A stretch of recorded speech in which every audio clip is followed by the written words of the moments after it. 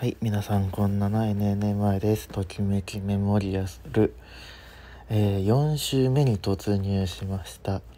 3週目でメインキャラクターの藤崎さんを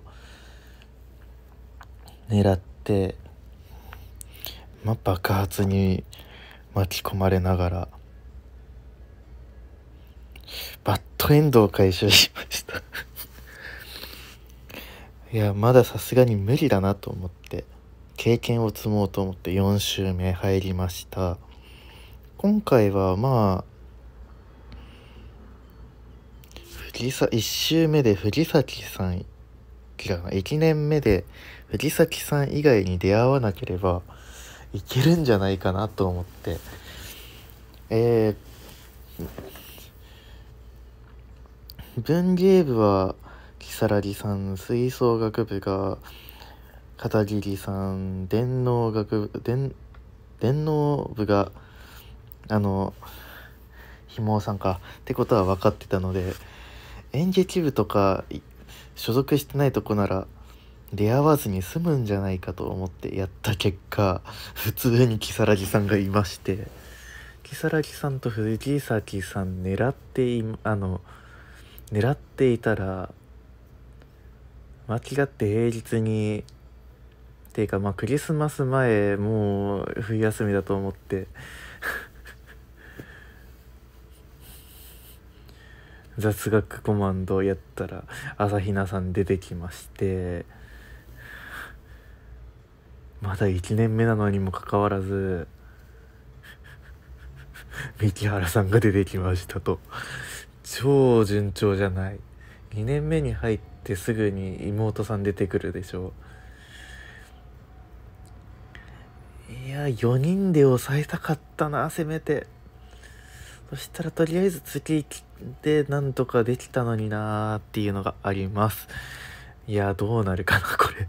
そしてあ予定外の人に普通に好感度持っていかれてるんだよな。まあ三木原さんとか元から好感度高い方ではあるし朝比奈さんに関してはフレンドリーな人だから一回爆発するまでは結構高い感じでいくんじゃないかと。如月さん藤崎さんあたりは普通に順調型っていうかまあ時間をかけて攻略する人たちなのでいやまあ如月さんの映画イベントが向こうから誘ってきて2回連続で悪い印象って。あれいいか悪いかの2択しかないわけ。厄介だなと思ってます。はい。まあテストの方は写真撮り忘れたんですけど454点の10位でした。うん。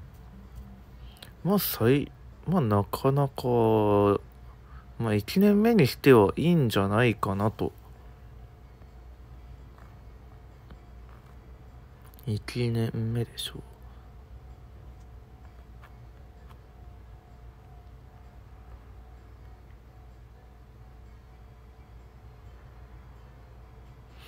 だっていやまあこれあれか。まだやってないやつ攻略する時だからあんまこう能力って高くないやつか。運動207っていうちょっと異常値だけど。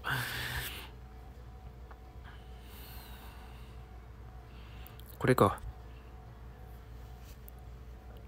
90うん。文系94理系93の芸術92運動59の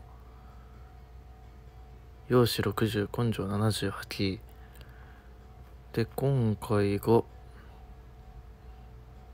まあ全体的にまあ根性が足りてないな。運動部じゃないから根性上がりにくいんだよな。という感じか。